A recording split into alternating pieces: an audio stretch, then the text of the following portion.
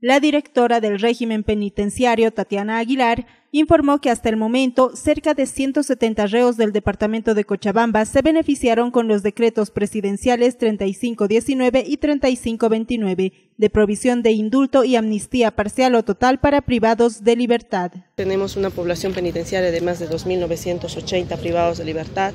A la fecha, ya con el decreto presidencial, se ha emitido 168 indultos, ¿no? Entonces es muy importante trabajar en que los privados de libertad también puedan salir de los recintos a través de estos eh, beneficios que establece el decreto presidencial.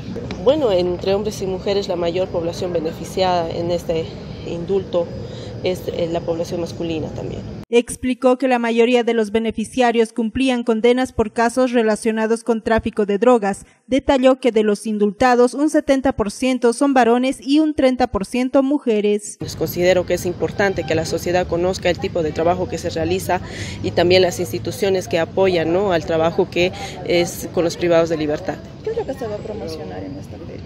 Bueno, en esta feria se va a promocionar específicamente, uno, los productos que realizan los recintos, dos, las funciones que realiza el equipo multidisciplinario de régimen penitenciario al interior de los recintos.